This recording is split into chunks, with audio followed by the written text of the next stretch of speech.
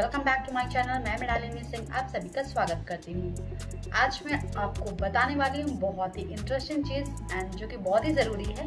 आज हम उसके बारे में बात करने वाले हैं। जी हाँ आजकल की जो सबसे बड़ी प्रॉब्लम है, जो कि है वेट लूज़ करने की।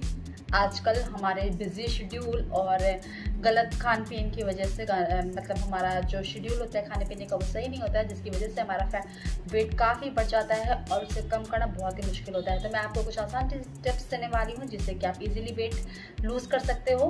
और ज़्यादा मेहनत भी नहीं लगेगी, थोड़ा थोड़े कम समय में और थोड़ी कम एफर्ट से आप अपना वेट को लूज़ कर सकते हो अच्छा खासा।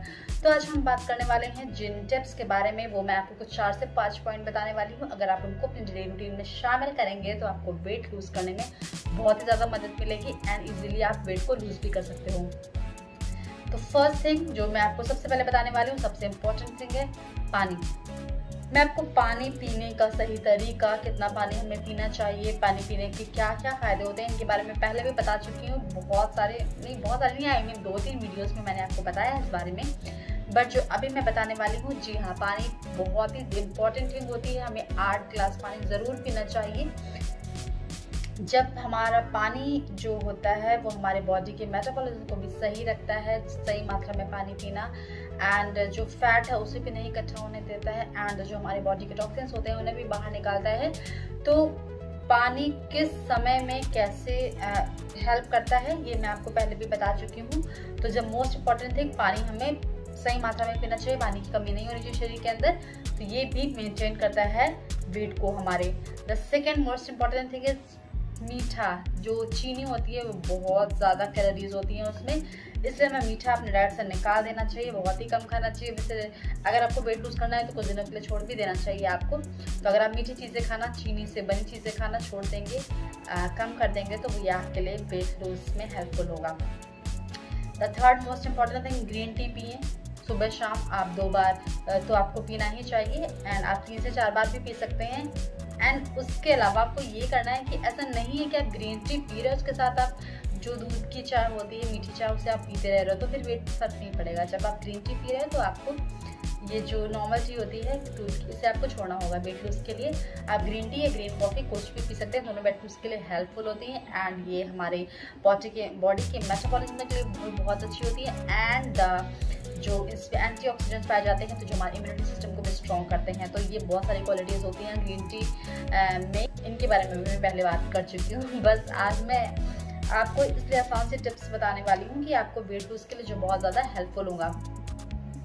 आपको आठ घंटे की पर्याप्त नींद भी लेनी चाहिए, ये भी बहुत इंपॉर्टेंट होती है। जब आप सही से नहीं सोते हो, जब आपकी नींद पूरी नहीं होती है तो ये भी आपके पेट बढ़ने का कारण होता है। And the next thing is कि आपको 30 मिनट की एक्सरसाइज वॉक जो भी आप करो योगा स्विमिंग जो भी कर सकते हो, वो आपको करना चाहिए ज़रूर, क्योंकि ये बहुत इंपॉर्टेंट होता है।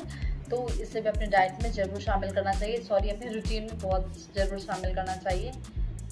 एक्चुअली जब मैं वीडियो बनाना स्टार्ट करती हूँ तो आ, मैं पहले से कहीं नोट डाउन करके या ऐसा नहीं रखती हूँ बस जो माइंड में चीज़ें होती हैं बोलती हैं। तो इसलिए मैं जल्दी थोड़ा सा बोलती चली जाती हूँ कि कोई भी चीज़ रह ना जाए बताने के लिए और ऐसा ना हो कि फिर मुझे बीच में वीडियो रोकना पड़े इसलिए मैं थोड़ा सा जल्दबाजी में हो जाता है। तो फिर ये सब बातें छोड़ते हैं मैं आपको जो टिप्स बताई हैं, आपको पानी सही से पीना है, आठ ग्लास, आपको मीठा नहीं खाना है, आपको ग्रीन टी या ग्रीन कॉफ़ी लेना है, आपको आठ घंटे की पर्याप्त नींद लेनी है एंड द मोस्ट इंपॉर्टेंट आपको थर्टी मिनट की exercise workout swimming yoga rope skipping जो भी आप करना चाहते हो तो वो आप कर सकते हो बट ज़रूरी होता है आपको करना चाहिए।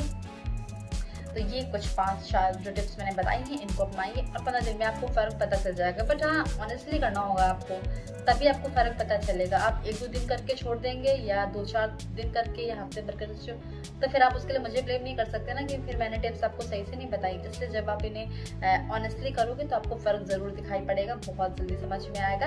इसलिए अगर आप सच में वेट लूज़ करना चाहते हो तो इन्हें ज़रूर अपनाना और मुझे बताइएगा ज़रूर कॉमेंट बॉक्स में कि आपने कितना वेट लूज़ किया। और आगे मैं मिलती हूँ आपको नेक्स्ट वीडियो में नई जानकारी के साथ। और कुछ अच्छी बातें बताऊँगी मैं आपको। तब तक के लिए बाय बाय